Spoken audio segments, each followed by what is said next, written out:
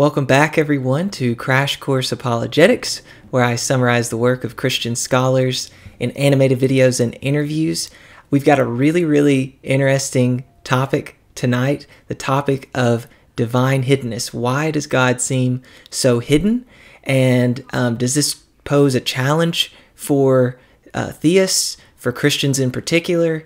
Uh, how do we explain those that say they're open to uh, God's existence, they want a relationship with Him, but they just don't seem to uh, have that belief? How do we answer that? So, if that question interests you, I think you're going to find this a very unique kind of answer to that argument.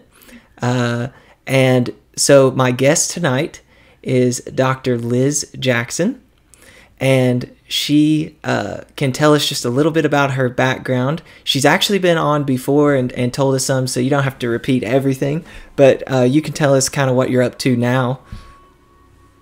Yeah, for sure. So, just wanted to start off by saying thanks so much for having me on, and I'm really looking forward to our discussion.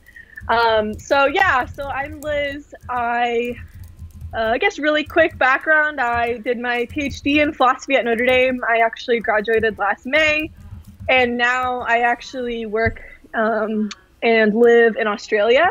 So I'm doing research for the year at Australian National University, although I'm actually not in Australia right now, um, but I live there most of the time.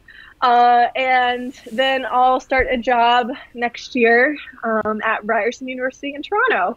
So that's a little bit about me. Um, I love philosophy, I like theology, I like philosophy of religion, and my main focus within philosophy, I guess I should say, is um, epistemology and philosophy of religion. So that's kind of where I focus. Um, and I actually wrote this paper pretty early on in grad school, and it's kind of funny how I really did write it, but I actually had to kind of go back and remind myself, what did I argue for again? Mm. So it was kind of fun to revisit it and look at that argument again. But yeah, I was like, I need to remind myself what my arguments were.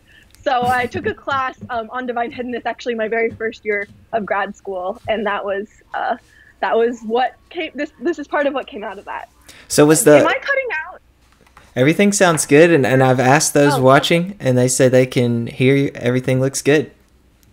No mistakes awesome. this time, hopefully. Great, yeah. We had some technical difficulties last time, so I'm glad it, it seems like it's going well. Yeah. So, great. and uh, I'll mention this really quickly. If you're watching live, continue watching. But when this video is over, uh, you should go back and watch our previous interview because a lot of what we'll talk about tonight builds on and kind of assumes that you are familiar with what we talked about previously. So previously, Liz laid out her uh, argument uh, her version of Pascal's wager and defended uh, that version against lot like I can't remember if we had like 10 different objections. It was a lot of objections. Uh, and that video's is done really really well. So I'm I'm really excited about that. It's uh, for for you to not have a YouTube channel that video has gotten a lot of views at least you know relative to to what I normally get. So I'm really proud of that video and pleased with how that turned out. So go and watch it all right, I, I don't want to take much longer though, so let's jump in to this paper. Liz already mentioned it. It's titled "Wagering Against Divine Hiddenness," and uh, it was really, really fun to read and uh, a really unique take. So I think you're going to enjoy this. Uh, whatever side of the issue you come down on, I had people from Facebook, uh, atheists, theists alike, who said this was a great paper. This was fun, uh, and it was it was very insightful. So you should be proud of yourself, Liz. yeah, well, and I think probably atheists and theists alike may both think that what I have to say is crazy, also. So you're being very nice, but like you said, this is definitely a, a unique kind of take on the the problem, and I think there are other other ways to answer it as well.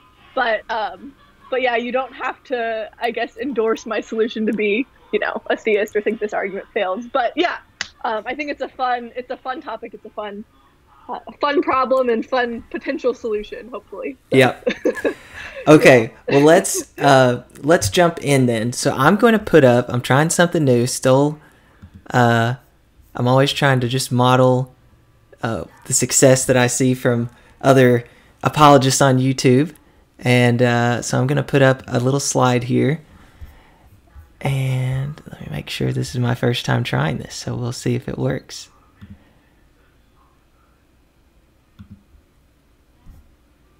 Can can you see that?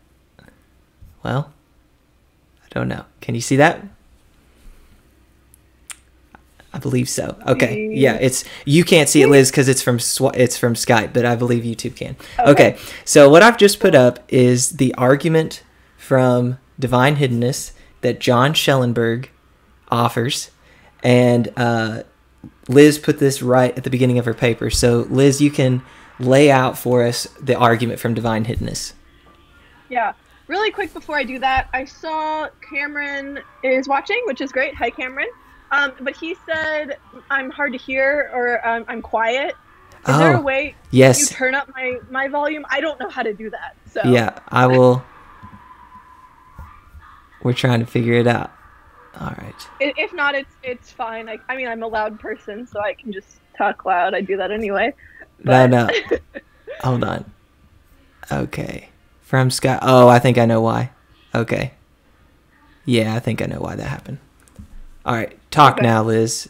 Um, All right, is this better? Um, Cameron and I guess Slam RN both mentioned it. Uh, can you guys hear me better? Hopefully, I think maybe we should take it as a yes, and then they can yeah. tell me if, if I'm not loud enough. Okay. Yeah, So they said they wanna- they said they hear you.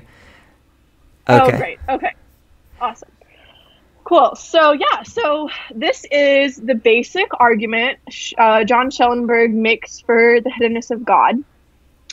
And um, yeah, so it has three premises and then two conclusions kind of derived from those premises. So, premise one says if God exists, then God is perfectly loving.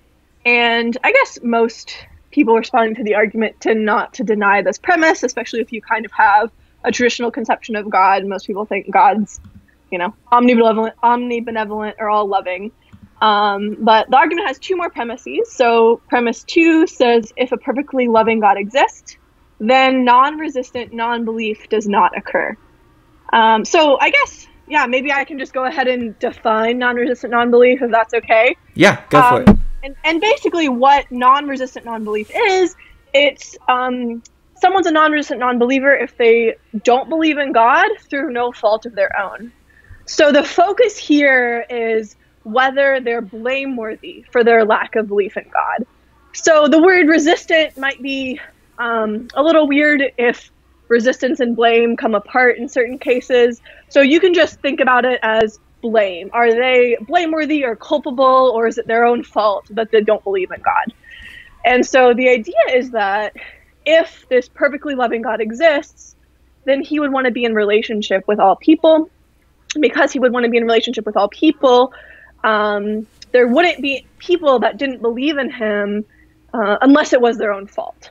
That's kind of what the premise is saying. It's like, i unless it's their own fault, you know, God would um, create a world such that he could be in a relationship with everyone. hmm Um, so that's the second premise. And then the third premise basically just says there are non resistant non believers. There are people who, through no fault in the, of their own, just don't believe in God. Um, and then from that, we can conclude that no perfectly loving God exists. And if, you know, God has to be perfectly loving, then we would just say that God doesn't exist in general. Um, so that's basically the argument. I think this argument has actually gotten quite a bit of attention. It's pretty interesting. I think for a while, the problem of evil was sort of the main focus of a lot of, uh, at least at least the main kind of anti-theistic argument. But I think a lot of people have become really interested in the hiddenness argument. And then there's also debate about the relationship between the divine hiddenness argument and the argument from evil, and whether one of those reduces to the other or not. So there's a lot of interesting questions here. But um, this argument, I think, has yeah, a lot of people have been interested in it, uh, especially recently among kind of philosophers of religion. Definitely, and it seems to common on YouTube as well from uh, YouTube Hmm. atheists. It it gets talked about a lot. I think um, uh, Justin Schieber and uh, Ben Watkins from Real Atheology. You may not have know them, but they're Yeah, fairly. I don't know them. They're they're more of the thoughtful kind of atheists than your your typical Okay. ones. They're they're definitely more philosophically informed, and uh, and this is like a, a very uh, important argument in their arsenal. I feel like they frequently bring it up. Uh, so I want I Just wanted curious, to have a do they? Oh, sorry. Do they do it in this form? Like, is this a common form on YouTube as well? I know this is common among philosophers. Um, But I do- don't do know, you know? I don't know if they use this deductive form. Um, Okay. I and we'll we'll talk about kind of your uh, inductive version where uh, in a minute, but uh, Yeah. I'm not. I can't remember. I remember they were on. Maybe Cameron can tell us. He's watching. They were on Cameron's um, uh, show or his channel, and they debated a, cou- uh, a couple of people that Cameron brought. You know, Josh Peck or Pro- Josh Parikh. Josh Parikh, I think. I don't think I do actually. Anyway, I need to be more up on my YouTube. well, he's a no. He's a philosopher. He's a philosopher. Oh, and, oh, uh, okay. uh, Hmm, yeah, I don't know him. him and and Blake Giunta, who I've had on, uh, Okay. talked about uh, or did that dialogue with Justin Schieber and Ben Watkins. But anyway, it is well known. I can't remember if they used the deductive though. Okay. Yeah. Just curious. Just curious. Yeah. So the I think the deductive version is is very common among among philosophers. So yeah. Okay, well, uh, now that we've laid out the argument and you've defined what non-resistant non-belief is, because that's really important. Uh, we want to be clear on on that term because I feel like the whole argument really that and and God's love uh, kind of make the whole argument. so uh, let's talk about then what is, uh, or, or better yet, how have theists traditionally uh, responded to this argument? Yeah. So most theists um, either deny premise two, or I think I, I don't know if we had it as S two, but the second premise or the third premise, Mhm. basically. Uh, like I said, most theists aren't going to be like, "Oh, just kidding, God's not actually loving," you know. Yeah. Um, so they're either going to say that uh, God's being perfectly loving is actually consistent with the existence of non-resistant non-belief, um, and you could give various reasons for that. A really common one is sort of a greater goods argument. Uh, you know, a perfectly loving God would allow non-resistant non-belief if there was some overriding greater good. hmm So that actually, in some ways, parallels a common response to the problem of evil as well. Um, a response that doesn't really have a parallel uh, with the problem of evil is actually to just deny that there's non-resistant non-believers at all. That would be like So denying that there's "Nope, evil. everyone who doesn't believe in God. Yeah, exactly. So I was like, yeah, no one really denies that there's evil. Um, but yeah, so the the version, the the hiddenness w- version, though, which people do actually argue, is to say that um, actually everyone who doesn't believe in God is blameworthy for it. Um, so that's, I mean, that's a pretty strong claim, but people have defended it. Um, so I think probably denying the second premise is more common, but yeah, people have definitely denied the third as well. Okay, so then uh, we'll we'll see in a minute exactly uh, how you go about responding. But before you say how you do it, what is at bottom the most basic version you can give me? What's the fundamental claim of your paper overall? Yeah. So here's basically what I wanted to argue for in this paper. It's that given that a version of Pascal's wager is successful, we don't have a good reason to think that there's a lot of non resistant non believers. So, in other words, uh, resistant non belief is more common than we might have thought. Um, and I know, I know this doesn't technically mean one of the premises here is false, so we're going to talk about that in a second. But basically, I think Pascal's wager and the fact that it's successful uh, gives us a reason to basically just think there's a lot less non-resistant non-believers than we might have thought. Very good. And hopefully, if you're watching this, uh, you'll you will be familiar with the playlist of videos that I've made on Pascal's wager. So I'll go ahead and plug that now. I love Pascal's wager. That's why I've I've devoted a whole series to it. I think it's so undervalued, and uh, it has a lot of application to to areas that I don't think people have thought to apply them. And this is a great example. I think you took Pascal's wager and you applied it in an area that maybe people don't typically associate. So uh, go and check those videos out after you've finished the live stream. Uh, you will, I think, enjoy it. I base it off of Michael Rota's book, Taking Pascal's Wager. Um, the video, the playlist is still going, uh, but okay, let's let's jump uh, back in. So I like this quote for the fundamental claim of your paper, and it, it just emphasizes what you just said. You said in the paper, um, given the success of a version of Pascal's wager, there is no good reason to think there are very many non-resistant non-believers. In other words, resistant non-belief is a fairly common phenomenon.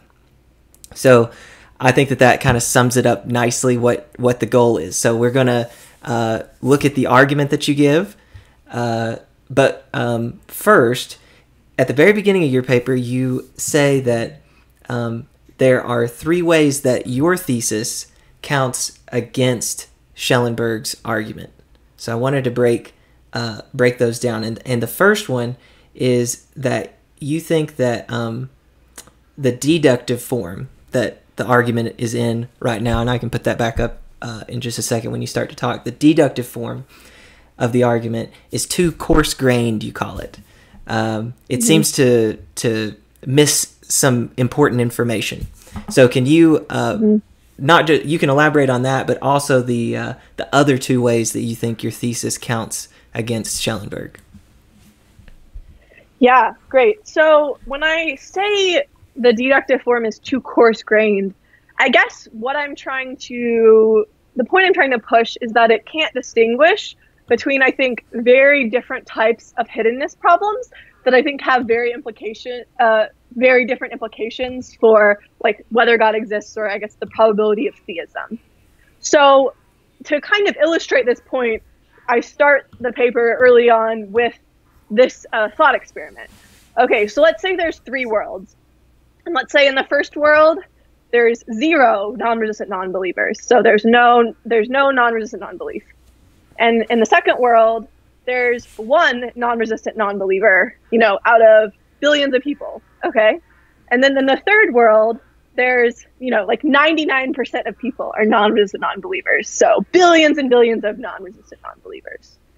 And so the thought is, sorry, I'm going to turn notifications off. Okay, so the thought is supposed to be uh, that in so in the first world we don't get an argument from hiddenness, right? Because there's no non-resistant. There is no non-resistant non-believer.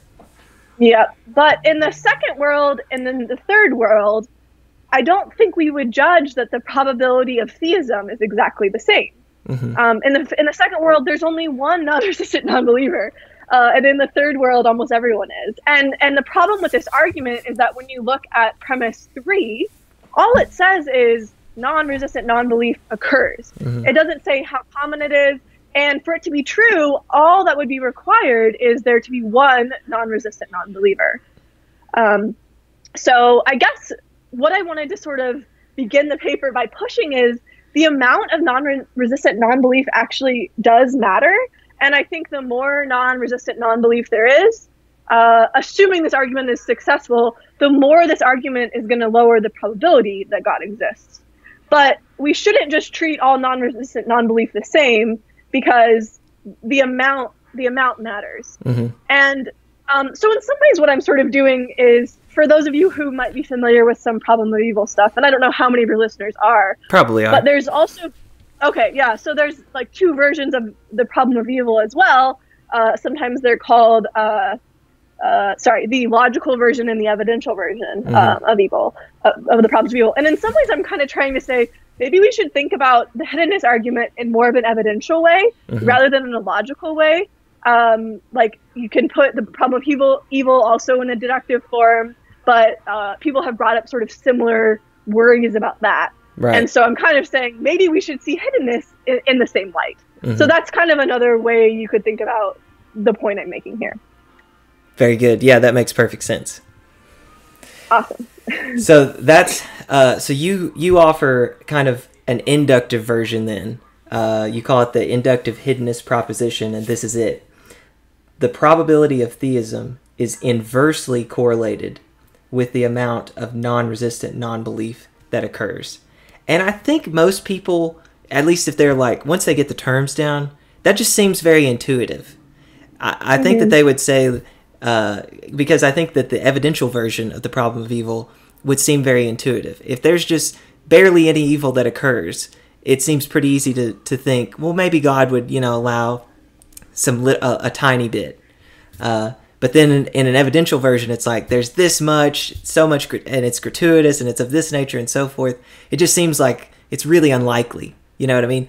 And I think that yep. something similar is going on here. So you say the inductive hiddenness proposition uh, would would be a good kind of modification to this to this argument uh, because as as it stands right now, it's it's too it's overlooking some important information. Yeah, I guess it's overlooking an important distinction mm-hmm. or uh, question: how much non-resistant non-belief is there? Right. You know, so um, so yeah, that's yeah, that's exactly. Oh, by the way, I'll pause here. Alex W in the comment or in the live chat just said Liz Jackson is the greatest philosopher alive. That's a really high compliment. That's actually my fiance. I probably shouldn't say that. I should probably just be like, "Oh, thank you." But he might be a little biased. no, that's that's but perfectly. Yeah. yeah. oh man. okay, hilarious. so so the second reason that your thesis counts against Schellenberg's argument. Go go from there. Oh yeah, great. Oh, so maybe I'll just say really quick. Uh, the first reason is just that I'm saying, look, there's less non-resistant non-belief than we would have thought. So if the problem of divine hiddenness lowers the probability of theism, it doesn't do so as much as we might have thought. Mm-hmm. Um, I kind of said that already, but I just wanted to. Yeah, that's a good, that. yeah, um, good summary and um, connecting connecting the dots there. Okay, so the second reason yeah. then is what? So the second reason this uh, my argument actually, uh, you know, interacts with Schellenberg and has implications for it is because I think it could play a role in the denial of the second premise. Um, and, and that would look something like this. So this would be a broader argument than the one I make in the paper. But what you could do is you could kind of take my argument that there's less non-resistant non-belief than we might have thought previously. So maybe we thought 50% of the population was non-resistant non-believers, and now we realize it's only 20% or something. I mean, I just made those numbers up, but let's just say um, it's probably easier to think of a, a, a greater good that would justify a, a smaller percentage of non-resistant non-belief than than a larger percentage of non-resistant non-belief. So it kind of takes some of the burden off of greater goods defenses mm-hmm. and basically makes them easier to make because you don't have to say, "Oh, look, like there's, you know, all these non-resistant non-believers, it's a lot less than we thought before. Mm-hmm. So we don't need as many goods or as big of goods in order to uh, to to show that that can be justified. Yeah, yeah, it's almost a balancing act. Like I've got to counterweight uh, mm-hmm. this all this uh, non-resistant non-belief with with some goods, but if we say there's not as much as we thought, uh, there's not as much non-resistant non-belief as we thought. Uh, it doesn't have to be counter uh, countered with as many goods. Uh, so, yeah, okay. Yeah, exactly. And then exactly. the third reason that it counts, uh, your thesis counts against the current form of this hiddenness argument. Yeah. So then um, the third reason, maybe predictably, is it uh, could enable us to deny premise three. So I say, look, um, we thought there was 50% non-resistant non-believers. There's actually 20% and then someone else comes along and, and gives a, another separate argument that takes that 20% to zero so it actually i mean in another way it sort of takes the burden off of arguments that try to establish there are no non-resistant non-believers uh, while i'm not arguing that there's none period just based on what i'm arguing you could do that by taking my argument and then combining it with another one to kind of push that number to 0 mm-hmm.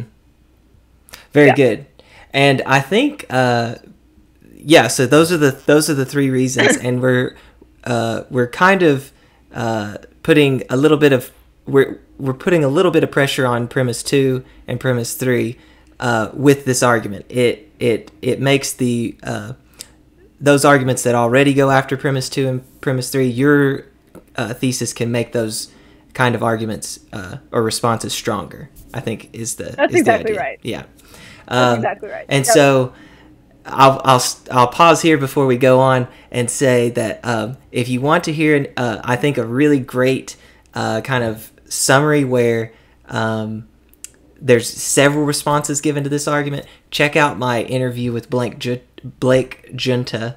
Uh, we went through like five different kinds of responses. One of those is greater goods uh, in general, and another is greater goods, and even in terms of relationship. Which you might think like, what? Mm. How is how is if there's non-resistant non-belief, how am I going to get greater goods in, relationship with God?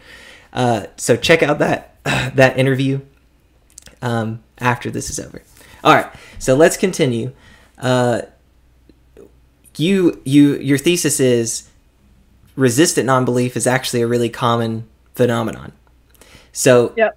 what is uh, or what are the sufficient conditions for um, resistant non-belief? Yeah, great. So this is like a little bit of a uh, a mouthful. So maybe I'll just say it and kind of explain it, but then we can kind of come back to it as need be, uh, or sort of tie everything back together to this at the end. If uh, so, basically, what I'm trying to say is you don't don't feel like you have to have all this in your brain right now. Yeah. But here's the here's the conditions. So uh, so S, some individual is resistant with respect to some proposition if uh, so three three things. So the first is that she believes that she has a stronger reason to believe that than hold any other attitude towards it. Or she doesn't have that belief, but she should have that belief, and she's blameworthy for the fact that she doesn't have that belief. So that's uh, that's a little complicated, but um, I'll try to explain more in a second. Uh, the second is that she has some kind of control over her doxastic attitude. Her whether she believes it is basically what that means uh, towards that proposition. And then the third is that she chooses not to believe it. So basically, she thinks I have the strongest reason to believe this thing, and she has some kind of control over that, but she just decides not to believe it anyway. So that would be one scenario. Or the other scenario is she should think she has the strongest reason to believe that thing, um, but she doesn't for some other reason that she's blameworthy for. for. hmm So I hope that's at least sorry. It's Yeah, a I, th- I think technical, but I think it's clear. I, sort of intuitive. I think Yeah. it's clear if if uh, you know if this is a lot of this is technical. So if you're interested, go read the paper. But I think for our purposes, I'm following. Yeah. Basically, it's saying I believe that I shouldn't believe that, or sorry, I believe that I should believe that, but I'm not going to. hmm Uh, and then I can control whether I believe it. That's basically the gist of it. Yeah. Okay, so very good. Now, since we've got the sufficient the sufficient condition for resistant non-belief, and and your claim was this is actually uh, very common.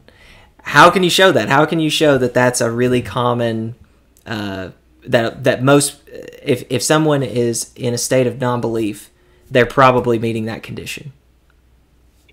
Yeah. So basically, what I want to argue is that many people that don't believe in God actually have a strong reason to believe in God. Um, and they either should be aware of that or they are aware of it. And this is kind of where Pascal's wager starts to come in. Um, and the idea is that we should do the thing uh, that uh, it's called maximizes expected value. It's basically we should do the thing that's practically rational. Um, and this is actually something Jordan talks a lot about in that playlist he talked about with Pascal's wager, but it has to do with decision theory. But basically, it's just saying people should be practically rational. People should take the best means to their ends.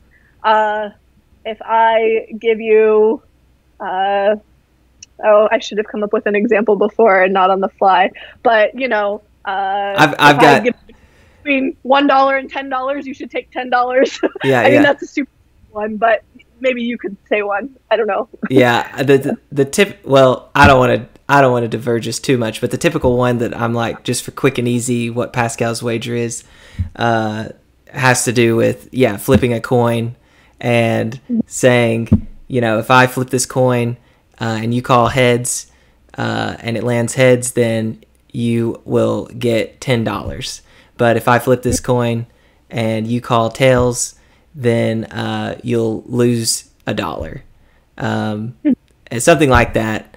And I've I've actually got a, like a really short article that's like the simplest version of Pascal's wager to remember or something like that. And it's Oh, just a very easy little analogy that you can offer people. But yeah, it's just you you should you should call heads because the expected value is so much better than if you call tails.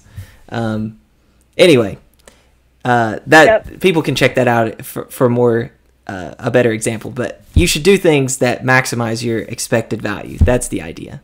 Yeah. Yeah. So it's basically just saying you should be practically rational. Mm-hmm. uh, is, is it, it, because maximizing expected value is sort of our best philosophical theory of what it means to be practically rational. Um, so uh, I sort of just assume you should be practically rational in the paper. That's kind of just a background assumption. Um, but the main thing I argue for, and this actually comes back to a lot of the stuff we talked about in our last interview, is that uh, cultivating belief in God is going to maximize expected value. And from those two premises, it follows that uh, we should cultivate belief in God. And then you can actually stick that into my definition of resistant non believer. Uh, and then it will have a bunch of implications for the hiddenness argument. Uh, maybe we can sort of come back to that at the end and focus on this shorter argument first. Yeah. And then we can kind of come back to how it relates to hiddenness because there are a lot of moving parts in this paper. Actually, when I was rereading it, I was like, oh man, like this is kind of complex. So there Yeah. there are several moving parts, but but I was able to follow and and it uh, if I guess where I'm familiar with Pascal's wager, that part didn't confuse me at all. Like I'm very familiar with that and comfortable with that stuff now, and so I was able to focus more on how you're going to apply it. But if somebody's brand new to Pascal's wager, they may get a sense of like, whoa, there's like multiple things going on here. Um, but just to just to lay out this argument that you're offering um, Yeah. to show that people fulfill that condition uh, of uh, resistant non-belief. This is the argument. It's got three steps. I just want to make it clear for the viewers. Um, premise one: one should perform the action that maximizes expected value, and we're just kind of assuming that.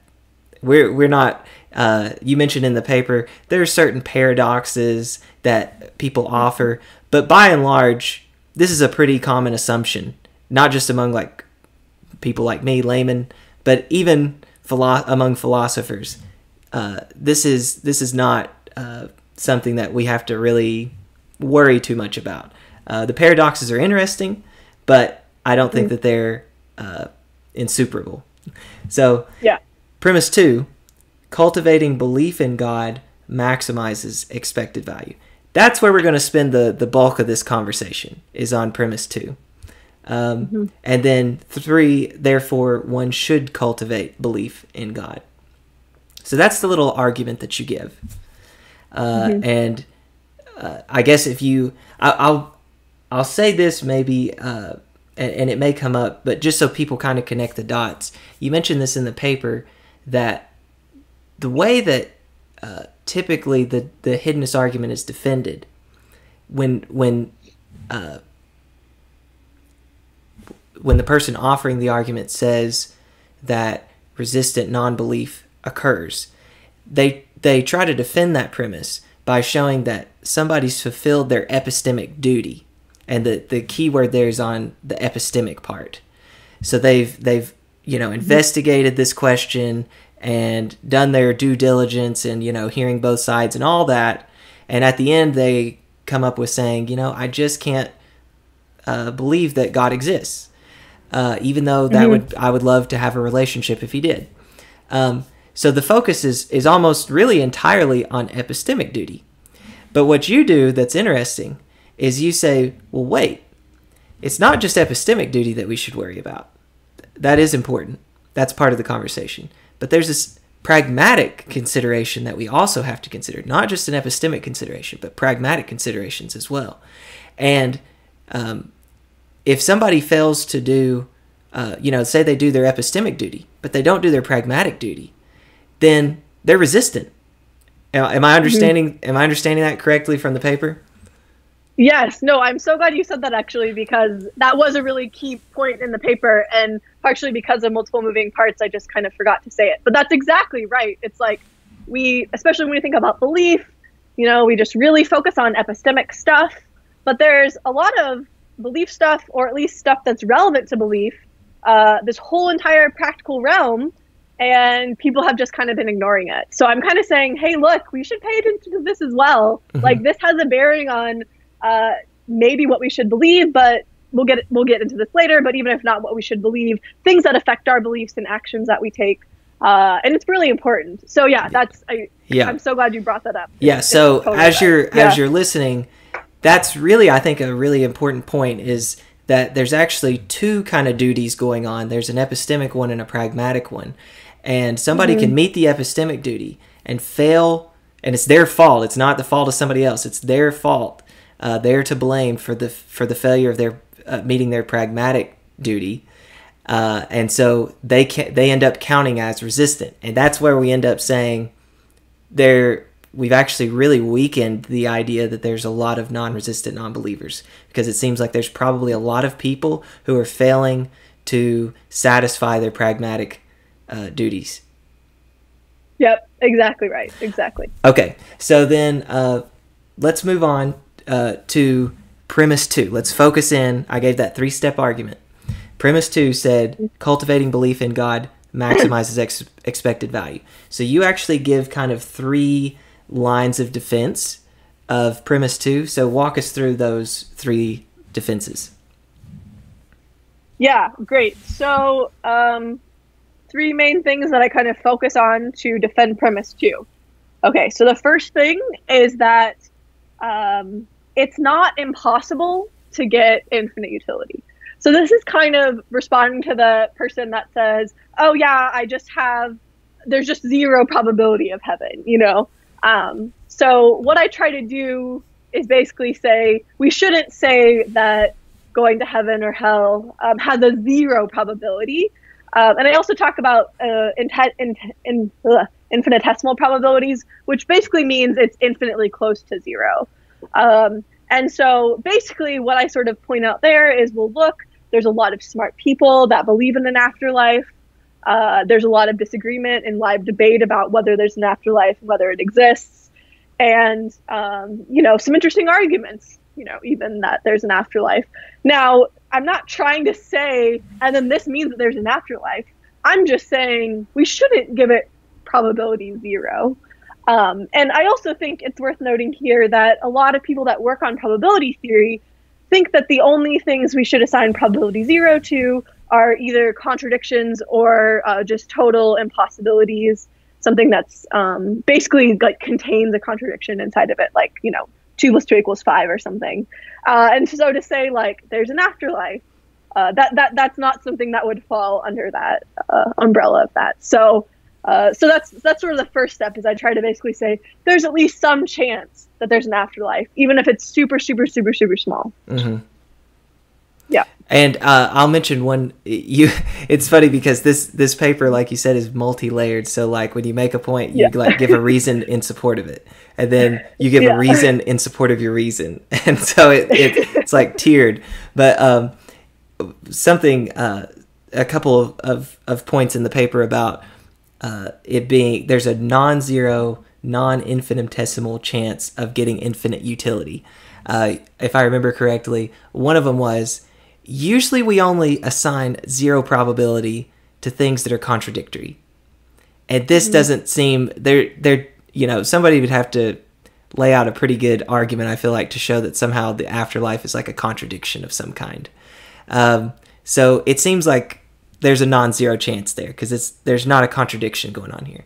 The second reason I think you said was that um, there's an act- there's an argument you can make from um, uh, something about like uh, peers, uh, p- uh, even though there's peer disagreement, like there's really smart, intelligent people who th- who would agree with this, uh, who would agree there's a non-zero, non-infinitesimal chance of getting infinite utility, and for that alone, it seems like uh, that that offers some reason to think it's non-zero. We're not saying it's probable. We're just saying it's not 0 Uh, and then I can't remember the third. I can't remember the third reason off the top of my head, but there was there was a third reason in the paper for thinking it's it's not zero. Yeah, I, I wait. Oh, it was just that, um, you know, if God exists, uh, then God would sort of have the power and possibility of giving us uh, an infinite afterlife. And so, if you think there's even some chance that there's an all-powerful Ah, God, yes.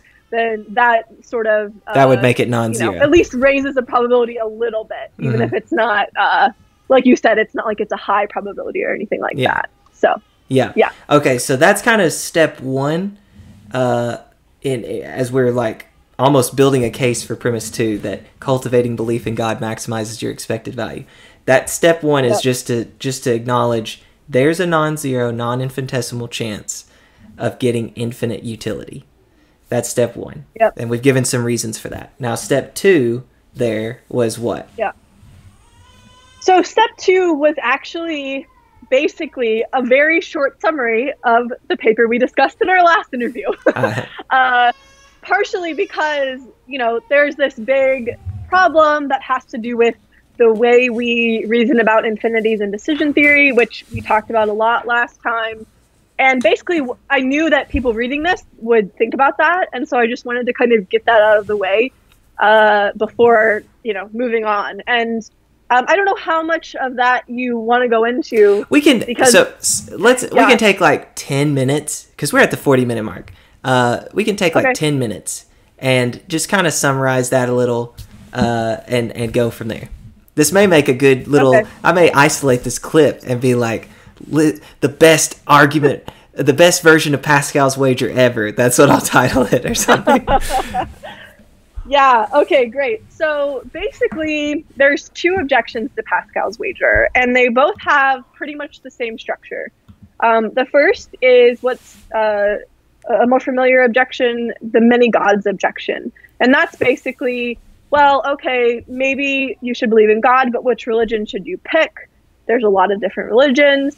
And if you practice Christianity and Islam turns out to be true, you're not going to go to heaven. So it's not enough to just be a theist. You have to know which religion to pick. A lot of different religions uh, are making claims about in- infinite utility, infinite afterlife, but saying that different groups of people will get the reward and different groups of people won't. Okay, so that's that's this one worry. That's this many gods objection. Um, the second worry is a little bit weirder, but I'll try to explain it. And this worry has to do with the weirdness of infinities.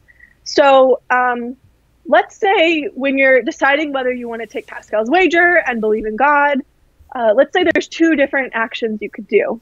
Um, the first action is you just believe in God directly. You just, uh, let's say you can do that. Let's say you can just form belief in God. The second action is you flip a coin. If the coin lands heads, you believe in God. And if it lands tails, you don't. Then you just go on with your life. Okay, so it seems like if you're trying to take Pascal's wager, if you think, yeah, I should try to believe in God, then obviously you should do the first thing and not the second thing. But here's the really weird thing is when you have infinities at play, um, in both cases, you're going to take the probability, uh, multiply that by the utility, and then that gets you the expected value. And in one, the probability you come to believe in God is very high, or one if it's just you just believe in God, and the other it's it's 0.5. But both of those numbers are, uh, when multiplied by infinity, are are infinite. And and when you think about it, this is actually kind of the same thing that's going on in the many gods objection, because you say, let's say you think Christianity has a, a 0.6 probability, 60% likely to be true. Um, and you think Islam has a 0.2 probability, maybe point 20% likely to be true. But in both cases, when you're trying to figure out what you should, uh, which one you should believe, you're going to take that probability and multiply it by infinity, and it's gonna. They're both going to come out equal. They're both going to be infinite. So there's not really a way to compare them. Uh, in the same way, because of the weirdness of infinities, you can't really compare believing in God directly from the coin flip thing. Mhm. Um, and so it starts to look like, well, not like all my choices between religions all have an infinite expected value that's all exactly the same. And then all my choices uh, between other actions that give me some chance of believing in God are all exactly the same. And then you start to think about it and you're like, actually, anything I do could lead me to believe in God, Mhm. even if it's really unlikely, like drinking out of this water bottle, Yeah, yeah. a text to my friend. And so then it's like, everything has an infinite expected value. What? Like this is so weird. And and then like some people are like, awesome, that's great, woohoo. And then other people are like, this is way too weird. Something's going on wrong with decision theory. Um, different people in the literature actually say different things. One guy's like, hey, look, there is a good God. Everything has infinite expected value. I didn't think about it that way. That's funny. yeah, I forgot who said that, but that's one of the papers. But a lot, I mean, I think most people just think, no, this is way too crazy. It, it can't be that every action has the same infinite expected value. Mm-hmm. So anyway, uh, this is we discussed this more in um, our first interview, but basically the the main answer, and this is what I push in, in my other paper, is that the probability of of getting um, some infinitely valuable thing matters, right? So if you have a choice between two options, and in option A you have a 99% chance of getting something infinitely good, and in option B you have a 0.001% chance of getting something infinitely good, like obviously you should pick option A. I mean that's that's crazy. In the same way, if I have a hundred dollar bill and I say you could either have a 99% chance of getting it or a 0.01% chance of getting it, you obviously take the higher probability. Nothing's different just because it's infinite. Mm-hmm. Um, and so, and so then the idea is that, well, when we were thinking about the many gods objection, and when we were thinking about believing in God directly versus the coin flip case, um, we we weren't distinguishing between the probabilities of getting this this infinitely good thing. We weren't uh, we need to we need to make those uh, matter when it comes to the final expected values. So, so basically, the idea is that when it comes to the many gods objection, you should pick the religion that you think is most likely to be true, because that's going to give you the best chance at getting the infinitely good thing. And in the same way, you should believe in God directly rather than only believing in God if the coin lands heads, because believing in God directly is going to give you the higher chance at infinite utility than just believing if the coin lands heads. So, so all that to say, part of what what the this partial defense of this idea that believing in God maximizes expected value is is we need a way to kind of say you need to go for the highest chance uh, at getting infinite utility, and uh, and then we need our formal framework to I guess reflect that as well but that's that's kind of what's behind that second point. Yeah. Do you have anything to add? there's there's a I really liked the way you summarized uh, this in the paper, uh, in in the wagering against divine hiddenness paper, and you said it this mm, way. Oh. You said, put another way, when ranking the expected value of outcomes, the ones with infinite utility will always be ranked above the ones with finite utility. And among the ones with infinite utility, the ones that are more probable will be ranked among above the ones that are less probable. I thought that was just a nice, uh, simplistic mm. way of putting it. Infinites outweigh finite stuff.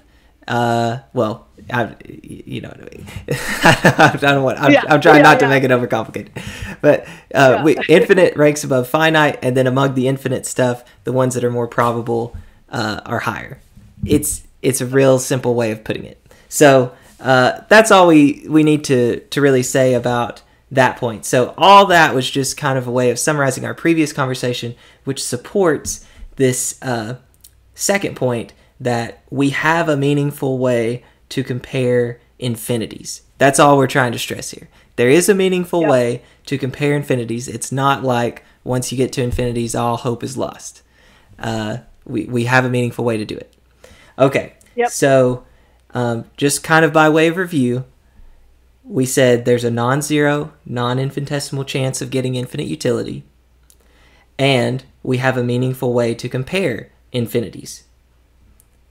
Now, that puts us at this third step. So take us from there. Yeah, and so this is kind of a key claim in the paper, and um, we might refer back to this later as well. And here's the claim the claim is that the probability that theists receive infinite utility in the afterlife and atheists do not is higher than the probability that atheists receive infinite utility in the afterlife and theists do not. So basically, the idea is that it's more likely that theists go to heaven and atheists don't than that atheists go to heaven and theists don't. So that's kind of, uh, in a way, that that claim is doing a lot of work in, in this paper. But I think most people will find it pretty intuitive. Yeah, So. and and this is helpful to clarify, and you'll probably do it too. Because when I first read it, I was like, "Wait a minute, will people agree with that?" So think about this: you you lay it out, um, which you you may be doing that. I'm sorry. Well, I don't see it on the papers in the outline, so I want to make sure I say it. Uh, Yeah. So think about these three alternatives if you're watching. Let me find it because I know I had it. Where'd it go?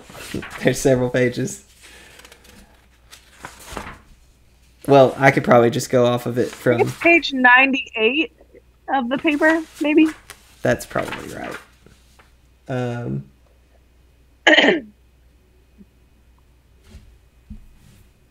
no. Well, wait. Oh, maybe I don't know what you're thinking. Yes, yes, yes. It is 98. It is 98. You're Okay, you're right with me. We usually are on the same wavelength. Okay. So, here's the three alternatives if you're watching and just ask yourself, you know, how uh, does this does this seem like hard does this seem like it agrees with your intuitions or not? Okay. So, here's the three alternatives and then we're going to make a claim. First, theists receive infinite utility, atheists do not. That's one possibility. A second possibility. Atheists receive infinite utility. Theists do not. Okay. And then the third one. Atheist and theist receive the same infinite utility. Okay. Now, those are three possible states, right? Those are three ways things could be. Um, the thing is, the third one there, atheists and theists receive the same infinite utility. It doesn't matter what you believe on that view. So we can just set that one aside. It doesn't matter. Um, so then you're left with the first or the second alternative. Theists receive infinite utility, atheists do not.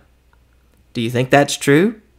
Or at least more likely than the other one, that atheists receive infinite utility and theists do not? I think most people are going to side with that first one and say um, theists receive infinite utility and atheists don't. That seems more likely than the other one that atheists receive infinite utility and theists don't.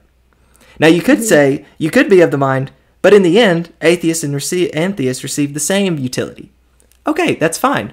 It doesn't matter. We can set that to the side. Which of the other two do you think is more likely than the other? Uh, Am I following correctly? Exactly, yeah. And actually, I think um, on one of the Facebook threads, someone asked a question about universalism. Was it Zach, I think? Zach, yeah. Um, yeah, and so I think this actually uh, interacts interacts well with that.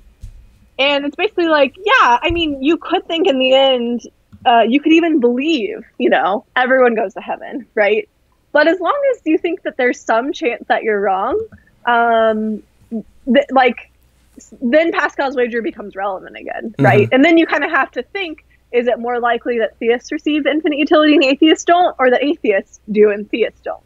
So, so all of this is consistent with even believing universalism. Um, and I think the only way that it wouldn't really be relevant is if you just thought universalism had probability one. You know, like there's no chance that you're wrong about it, and that's a pretty strong claim. So, Yeah. um, I thought I would kind of add that in there because he had asked about that. yeah, that was that was a good point. And so, uh, Yeah.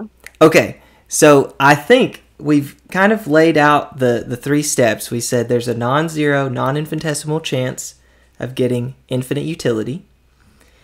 Two, uh, we have a meaningful way to compare infinities, and three, the probability that theists receive infinite utility in the afterlife and atheists don't is higher than the probability that atheists receive infinite utility in the afterlife and theists don't. Um, that last one, I, I think most people, once you lay out the three options, it's going to be pretty intuitive what uh, that, that that one's the case. Um, okay, do you have Yeah. anything else to say about about those three steps there? Yeah, so I mean, I guess I just once we kind of have those three steps, that's pretty much what you need for the really kind of basic version of the wager that I'm going for. Mhm. Uh, and this basic version of the wager basically just says, look, if it's more likely that theists receive infinite utility than atheists do, uh, we have a meaningful way to compare infinite utilities, and there's at least some chance that you get infinite utility. Then it's going to maximize expected value to believe in God rather than not. Um, and there's sort of a, if you want to look at the paper th- there's a little bit of, of math I do behind that. But basically, from those three steps, um, the idea that believing in God maximizes expected value follows. Yeah. So, and so, yeah, yeah, yeah exactly. Uh, that that's your way of defi- essentially the wager is your way of supporting in that original argument we gave that cultivating belief in God uh, maximizes your expected value, right?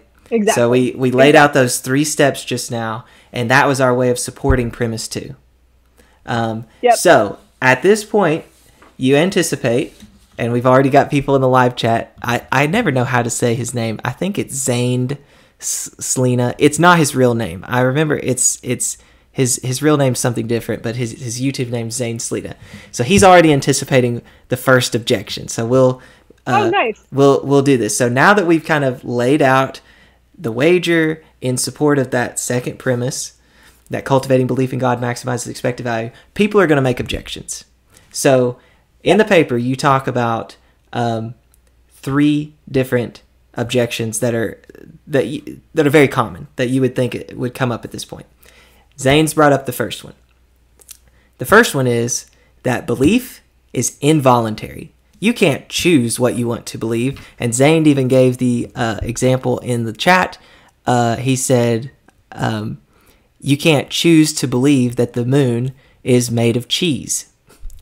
Uh, so what what what do we say in response when people say belief is involuntary?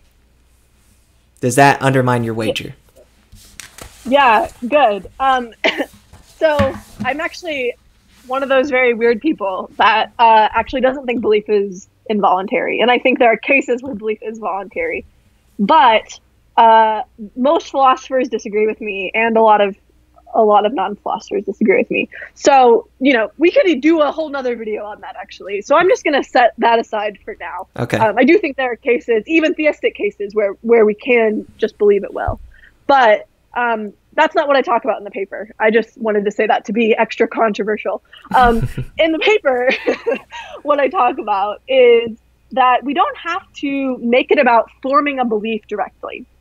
And in fact, that's actually why in the argument I intentionally put it as cultivating belief in God rather than just believing in God in the same way you pick your cup up off the table or walk across the room or something. Um, and and I do think we have control over um, habits that affect our beliefs and actions that affect our beliefs. And uh, things we do can make it more or less likely that we'll believe in God or not believe in God. So in this paper, I really want to focus on what beliefs we try to cultivate or, or don't try to cultivate, rather than just forming a belief in some kind of immediate decision. Yeah. And so. and that's how uh, I would like maybe during the Q and A we'll come back to the belief thing, uh, which we may you've written a whole paper on it if I remember correctly. Uh, mm-hmm. And so maybe I'll have you on a third time. We'll have a little trilogy, but possibly.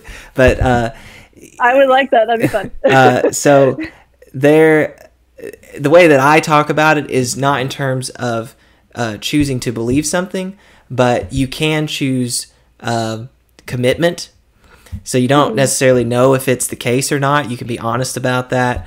Uh, that's the way that Rhoda talks about it, and I think most people that makes a lot of sense to them when you put it that way that I can commit to something and acknowledge I don't know if it's the case or not, but I'm still going to uh, commit to and and I think it fits nicely with what you're saying here. Certain belief forming habits, like you know, if I want to cultivate this belief, then I'm gonna I'm gonna engage in these certain actions. But I can be honest throughout the entire process. At no point am I trying to, you know, tell myself fake it till you make it or something like that. It's not cheesy like that. We do this in other in other areas of life all the time. Uh, I was just about to say that actually. I feel like people are like, "That's weird." It's not at all. Like we start grad school, we have we don't know if we're going to finish. You know, we don't know if we're going to successfully get the PhD, but we commit to it anyway. You know, mm-hmm. it's our goal to do it, even if yeah, I don't believe I'm definitely going to do this. It, it's too far down the road. You know, so marriage I think is like this. Yeah. Um, I think there's a lot of things that are like this, and yeah, I think sometimes people think, no, that's so weird. That's such a you know, why would you do that if you don't believe it? No, we do this all the time. We do this all the time. So Okay. Yeah. Uh, so that's kind of the first line of objection is well belief is involuntary so your premise two is indefensible and you can say well i'm not uh, even though you could say even though i think that there are cases where belief is voluntary that's not essential to my defense of that second premise and i can acknowledge that uh, just engaging in uh, habits and actions that cultivate belief that's sufficient that's all that's all i need um, i don't have to say that belief is voluntary Okay, that's first line of objection. Second one is that God wouldn't reward someone who believes only for pragmatic reasons. Uh, he knows, you know, better than that. He can see that they're just doing it out of selfish gain. Uh, so, how do you respond there? Yeah, I mean, there's so much to say about this. So I actually have some stuff on that line, and then as you say it, like five more things pop into my head. So uh, we'll cover some of it, and we can always come back to it too. So, I mean, the first thing to say is, um, I mean, I just part of part of what we talked about at the beginning is that uh, our best theory of practical rationality is that you should maximize expected value, and so I guess I'm sort of assuming that God knows that that's a good theory of practical rationality, and people who, um, you know, whose belief forming habits uh, follow our best theory of practical rationality uh, I, I, guess if if they are really doing doing the right thing, doing the rational thing, then it's hard for me to see why I guess God would have a problem with that. But um, in a way, what I'm saying is, I guess I'm ch- that's challenging a premise that I'm sort of assuming to be true, which is that we should maximize expected value. Mm-hmm. Um, so that's like the first like small thing, I guess. Um, and I guess I sort of touched on this a little bit in the first response, but again, I'm not trying to say that we should believe for pragmatic reasons, right? I'm trying to say that we should take certain actions or habits that might have an effect on our beliefs, um, but we should do those things for pragmatic reasons. And of course, we should do, do those things for pragmatic reasons. I mean, those are the primary reasons that we act. Mm-hmm. Uh, practical and, and I guess in some cases moral reasons, um, but but I'm not saying you should just believe something directly for pragmatic reasons. Yeah, again, you could think about this like a commitment, like we were just talking about. Um, and so I I don't think the argument is as intuitive or has as much weight when when you kind of move it from belief to a series of actions instead. Um, so that's another thing to say. Um, and I guess like another thing I wanted to add too is that I think there are ways of thinking about the wager and taking the wager. And I think you actually point this out really nicely in that playlist that you have about Pascal's wager. Um, but there's ways of thinking about it and doing it that sound really bad and sound really selfish. But there's ways of thinking about and doing it that aren't selfish at all, and in fact are really selfless. Mm-hmm. Um, so you could just say like, I just want all the reward and pleasure from heaven, and I don't care about anyone else. You know, I mean, you can you can frame it in that way. I'm not saying you can't, but you can also frame it in a way that's like, well, look, like if if God existed, that would be pretty cool. Like that, like there's an there's an all powerful being who mm-hmm. made the world and loves us, and that's someone I would want to be in a relationship with. Mm-hmm. And so, you know, I, maybe my evidence doesn't fully allow me to believe in God right now. I just I'm worried about the problem of evil, the problem of divine goodness, or whatever. Um, but but I want to pursue that anyway, and I want to uh, you know seek that relationship or commit to trying to be in that relationship, even if my beliefs aren't quite there. Mm-hmm. And and I don't think that that's selfish at all. I mean, I think that that just makes sense. I think that that's totally reasonable way to think about it, and it's not you're not doing it uh, like because you're trying to yeah like do some like it's not this selfish thing. So um, so I think that there's different ways of thinking about the motives involved here, but some of the motives are actually are, are totally innocent and even admirable. I think. Yeah. Um, so so that's that's another thing to say. Um, I don't know if you also want me to say. I, I don't know if yeah you want to keep going or yeah. uh, so I think that's enough to, for the God wouldn't reward someone who believes just for pragmatic reasons. That kind of objection. So the third okay. one, and to, this is the big one. I feel like this is the the the this one and the other that you mentioned, where it's like infinities make things just go, you know, ballistic at some point, and, and we get absurd uh, things. Yeah. Uh, it's the third objection is the many gods objection, and uh, Zane kind of is. It's like he's anticipating. I know he, he well, I, he might have Reggie Paper, but um, he's he's just anticipating one objection after the next. He said, "Couldn't Pascal's wager be used to justify a belief in any god?" And this is kind of the many the, the many gods objection. It's it's that you know if if even if Pascal's wager is successful, it doesn't tell you which religion to pick. It could be any of them. So if it could be if it's good to justify anything, it's good for nothing. That's the kind of uh, mm-hmm. idea. So, how can we respond to the many gods objection? So, I want to say two things about this. Okay.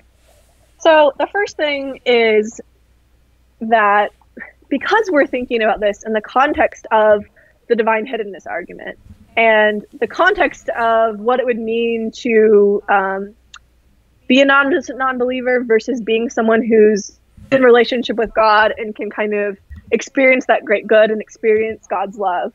Um, one thing to say is that, uh, sorry, I'm just looking at the paper really quick.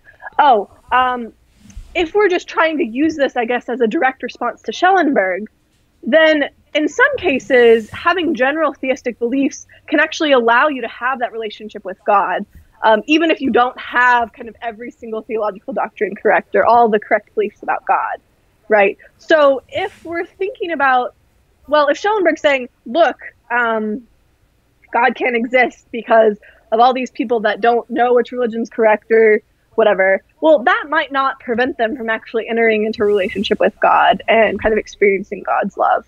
So I do think it's just kind of important to note that in the context of divine hiddenness that in order to have that relationship with God, you don't necessarily have to have all the correct beliefs about God, or maybe not even be practicing the correct um, the correct religion.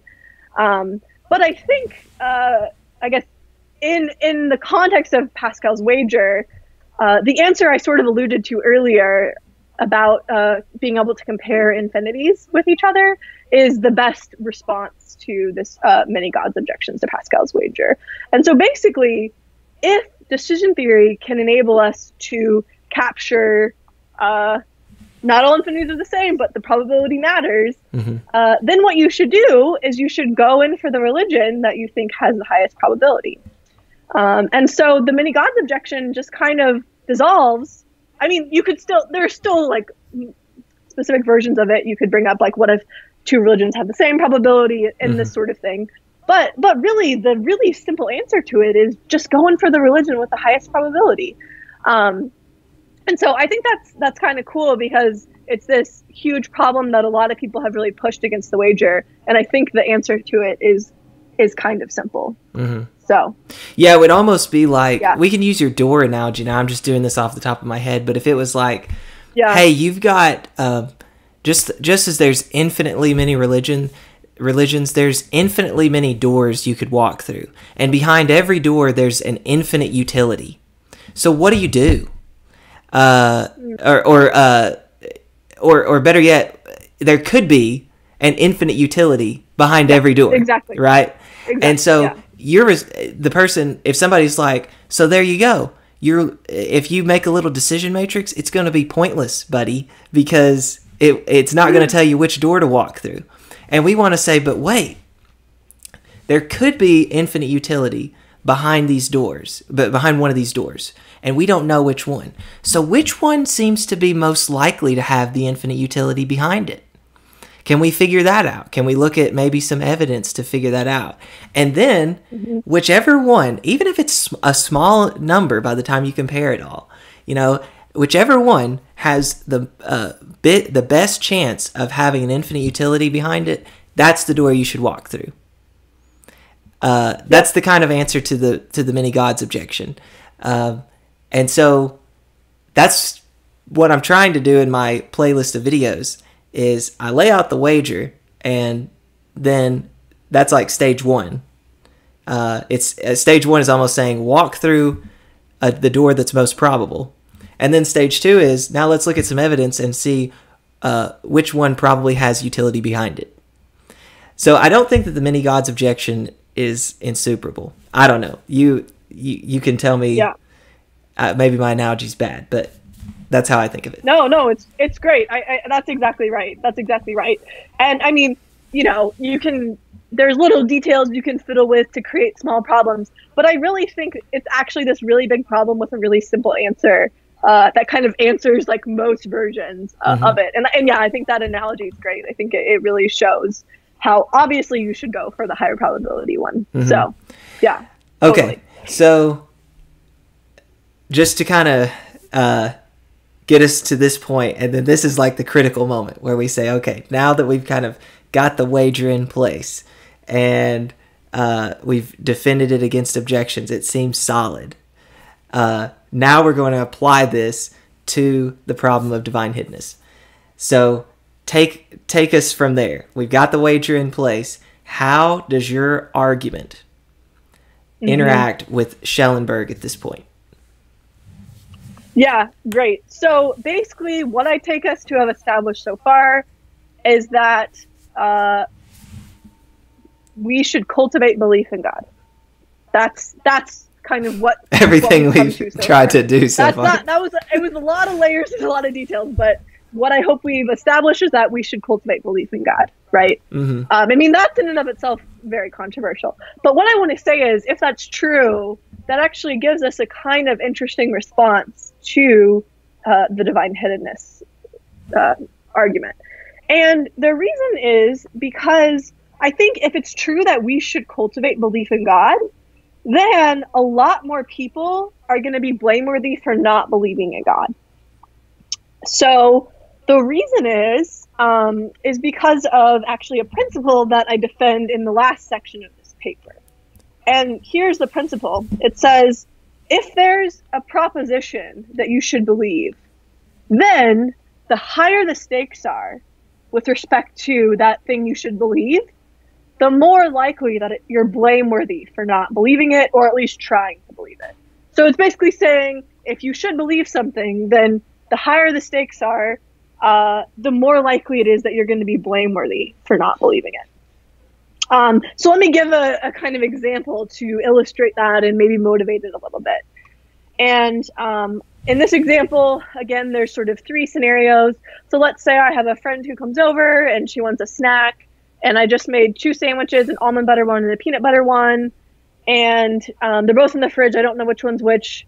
Uh, I just grab one and and give it to her, and then she eats it. Okay, it's totally fine. She likes both. It doesn't really matter if I grab the almond butter one or the peanut butter one. So that's the first scenario. Um, the second scenario, let's say I know that she's deathly allergic. Oh wait, sorry, that's the third scenario. Yeah, yeah. Second scenario. Sorry, sorry, sorry. I jumped. I jumped the gun. Uh, the second scenario, I know that she doesn't like peanut butter. She just thinks it's gross, and she would probably spit it out.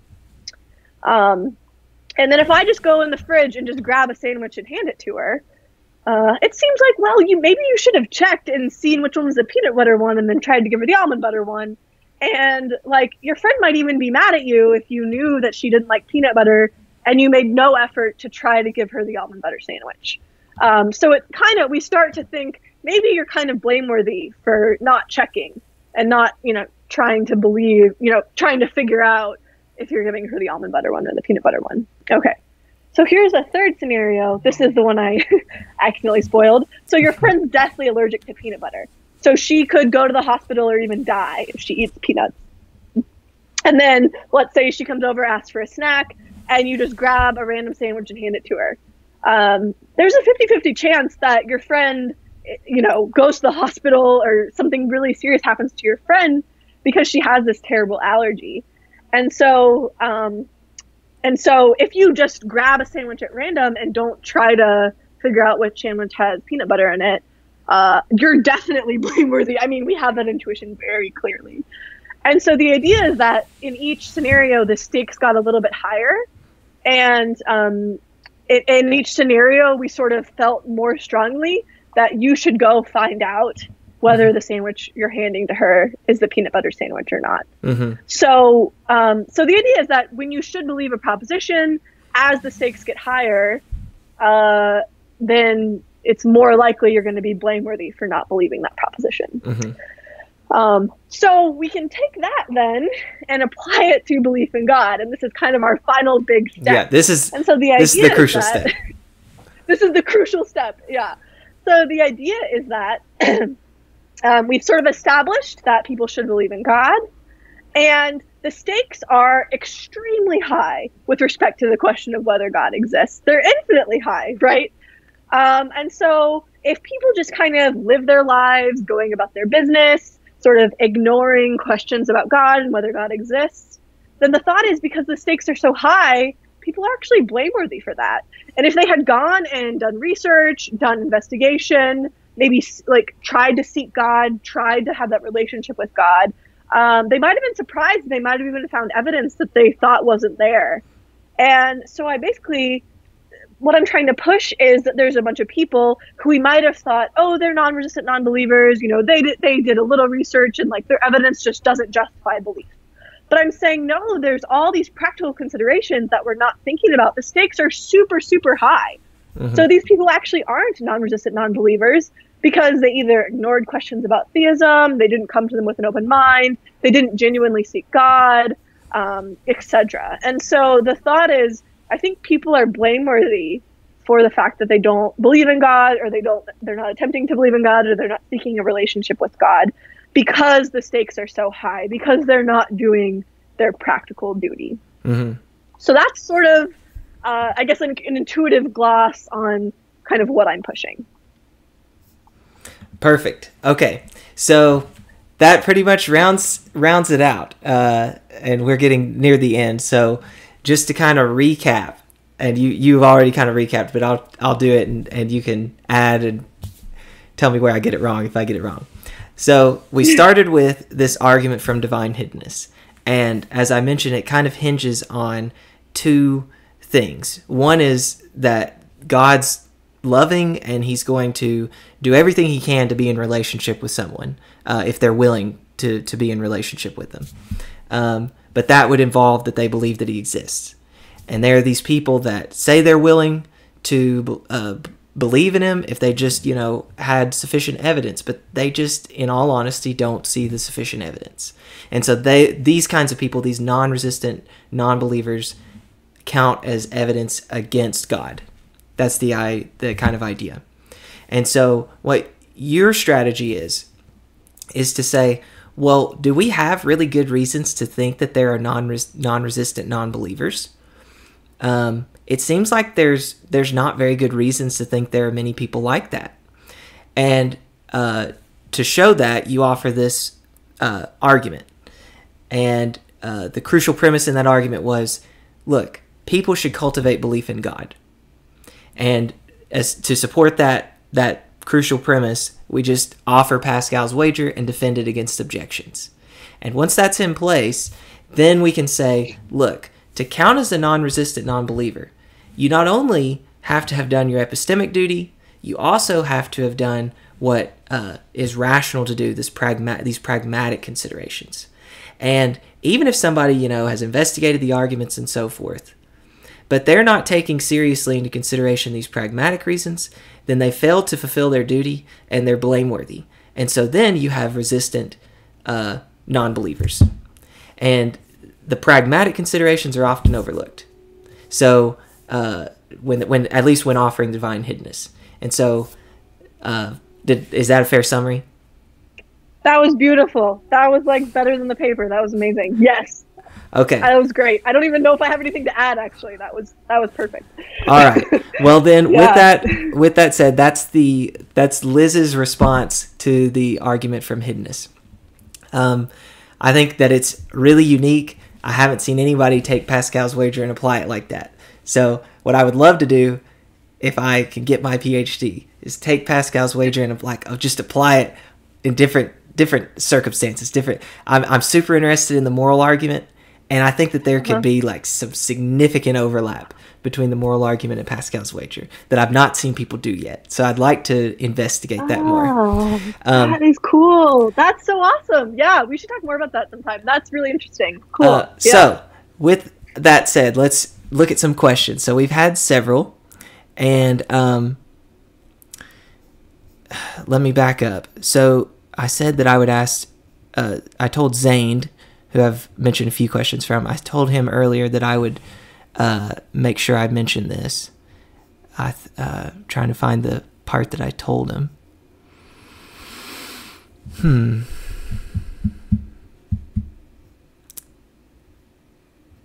Zane, I'm sorry. I know that I told you uh, I would mention a question, and I can't find that question that you, you said. So I'm going to ask Curtis Fleming's question. So Curtis picked up on my door analogy.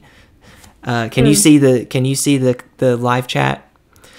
Yep, I'm okay. looking at it right now. So I'm looking at Curtis Flaming, the very first one he wrote. He said, "Which is more rational, to open the door with a 0.5 chance of infinite positive utility, or to choose any other door than the one you think has 0.5 chance of negative infinite utility?" So I guess he's saying if there's there's another door that you think has a 0.5 chance of infinite negative utility. Any choose any oh. door but that. Oh. I think he's saying any door besides that one.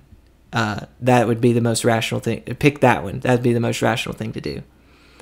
Um, it's an interesting thought. I don't know. What are you What are you thinking? Yeah, I think okay. So I think what he's saying is, in one scenario, you pick the door that gives you a fifty percent chance of getting something infinitely good. And then in another scenario, you basically avoid the door mm-hmm. that gives you a 50% chance of getting something infinitely bad. Mm-hmm.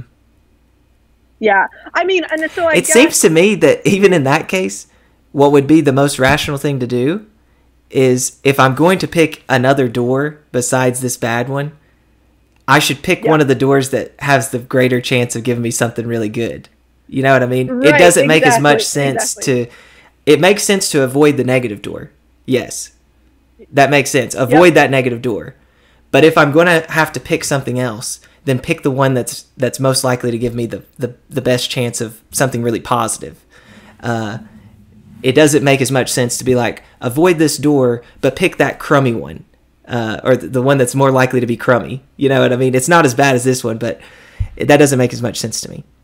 Okay, Right, right, right. Uh, yeah, and I think um, in the case where you're avoiding the negative door, I guess part of it would depend on like what what probabilities and utilities apply to the other doors. You know, um, so if you just like have no idea and they're all question marks, uh, you know, that would be one thing. But if you have some way to figure out or like uh, some way, you know, a way to kind of weigh them against each other, then you could kind of use that to justify uh, picking one over the other. Or if you think that they're all the same, but they're all better than this negative door, then you could just pick one at random, I guess. Gotcha. So, yep. Yeah. Okay, Brian W., who's right below Curtis uh, f- uh, Flaming, Flaming, said, Anyone know what denomination Jordan and Liz are? you go first if you want to answer. You don't have to answer um, you don't want.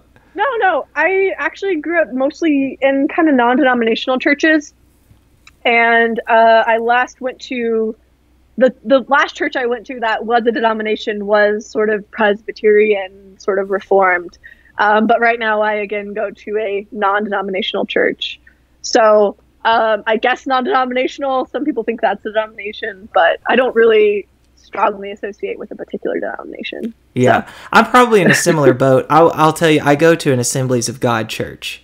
Um, oh, cool! And I'm I am charismatic. That's something that's important to me, uh, and and so I wanted to pick a, a church that um, is at least open to that. Now, not out, you know, off the rocker on how it's practiced, but it's it's it does follow you know um, guidelines and things. Uh, I won't get too much into that, but yeah. I, I don't even. I'm not saying that I subscribe to everything the Assemblies of God says. That's the church that I go to. Um, I agree with them on uh, at least the continuation of, of spiritual gifts, but I'm not uh, at all. I don't know that I'm on board with any denomination on every single thing that denomination says. Uh, so I just don't know. There's a lot I that I don't know. I actually agree with you on, on both those things. Yeah. I, I don't. I'm not a cessationist, but I also think there's not one denomination that captures everything. So yeah. Yeah. Um, okay, so then yeah. the last couple questions here, Zane said, "This is his only question uh, left for you. Um, what do you ah. think is the strongest evidence that God exists?" Ooh, interesting. Yeah, I mean, I guess there's a few arguments for God's existence that I kind of like. Um, I guess strongest would be like which one raises the probability the most. I mean, I think fine tuning is really interesting. I mm-hmm. think that probably raises the probability quite a bit. Mm-hmm. Um, but I actually, I mean, I want to mention this because it's a little unique, even even if I don't know if it raises the probability quite as much as fine tuning. But I think there's actually a really interesting argument. Um, well, one for the existence of abstract objects. So abstract objects are things like numbers, um, maybe like mathematical and logical truths. Some people think moral truths. Some people think properties. Um, but there's but it's basically these objects that you can't really account for. At least a lot of people think you can't really account for by just appealing to concrete things in the world. Mm-hmm. But we need something kind of over and above those. But uh, so that's step one. But then step two is like it's really weird if there's just some realm where like the number two is just kind of floating around. Like mm-hmm. like what? Like that's so bizarre. Um, so i think you can kind of combine these two things and um, there's various proposals for how we might ground or understand abstract objects in terms of god or god's nature. So it would be kind of like an appeal to the best explanation sort of argument. Um, but i actually think yeah the existence uh, sort of inferring the existence of god from these sort of two things. One seems like there's abstract objects. Two it would be really weird if they were just kind of independent existence. Um, but if they were grounded in God, I think that would be a lot less weird. So I don't know if I would say that's like the strongest evidence, but I think that's sort of one argument that's a little bit unique that I think is actually some really kind of good evidence um, that that maybe philosophers aren't talking about as much. But that, and then I also maybe fine tuning. Actually, Jordan, I'm sort of curious would answer that question. um, well, before I do, Not put you on the spot. Yeah, before I do, Slam RN said, "Oh, kind of like idealism."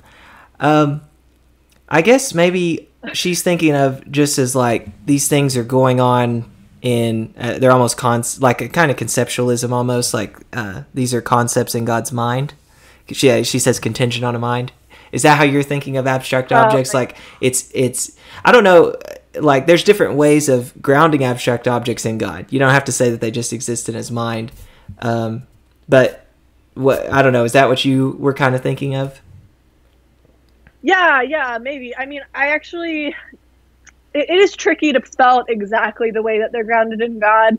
So maybe that would be a way an atheist could respond to this. I don't know, but um, but yeah, something like concepts that God has, or something about the structure of God's mind, um, yeah, I think there's various proposals that that are interesting, and and this isn't my main area of research either, so mm-hmm. I, I'm not really as much of an expert on kind of the, the, specifics of the various proposals. But yeah, that was sort of generally what I was yeah. thinking. Okay, I think yeah. that there's an interesting argument to be made there.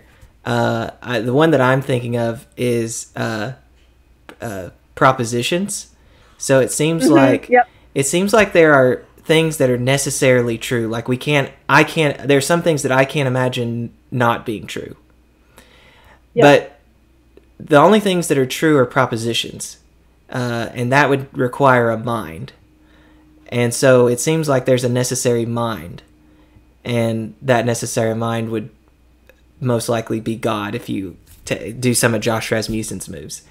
Uh, like mm, even yeah. like I know, just for example, uh, this is off topic, but these are just some of the things I think about.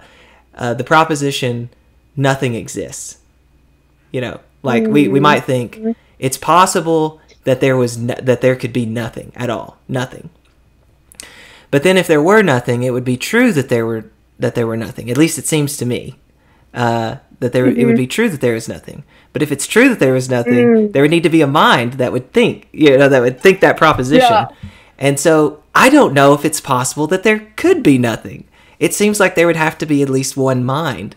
Um, I don't know. I, these are just something yeah. that I think about. Um, I don't think that's necessarily the best argument for God, but that's just related to what you're saying. I don't know what I would say the best argument for God is.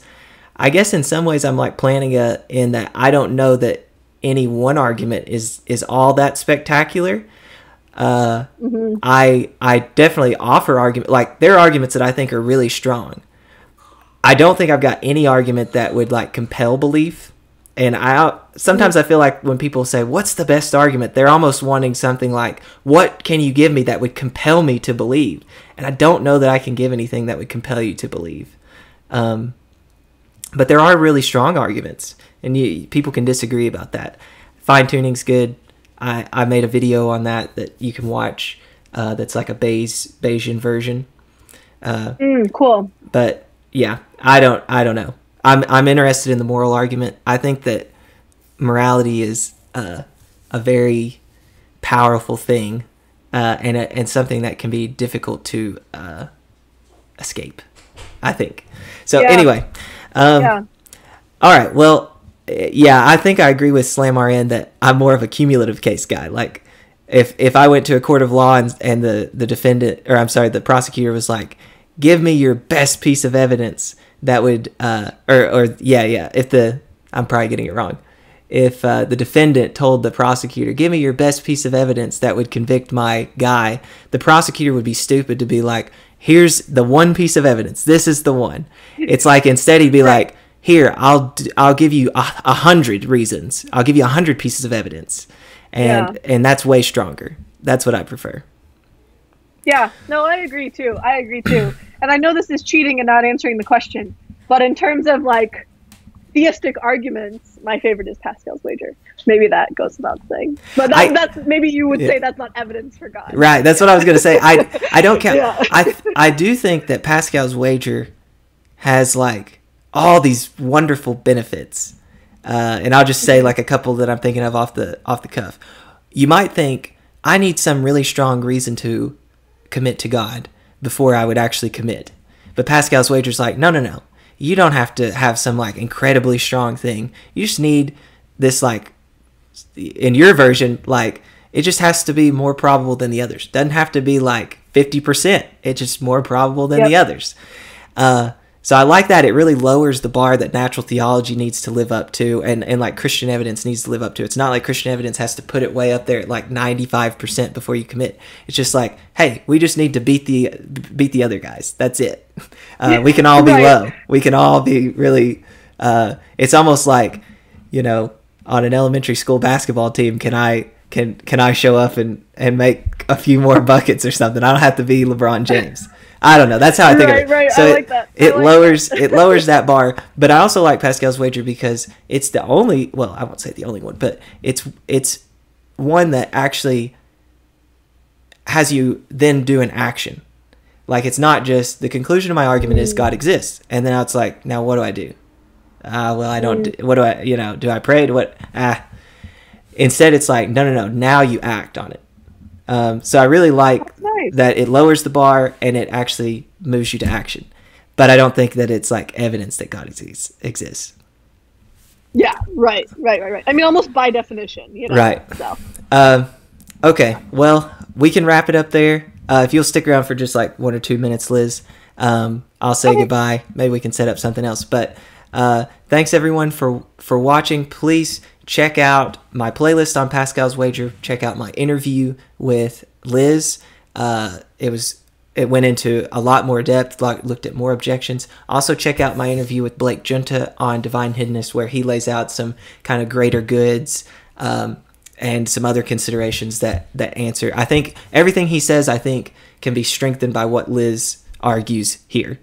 Uh, so there's some things to check out. Thanks for watching. Um, see Dakota, Brian, Slam RN, Zane.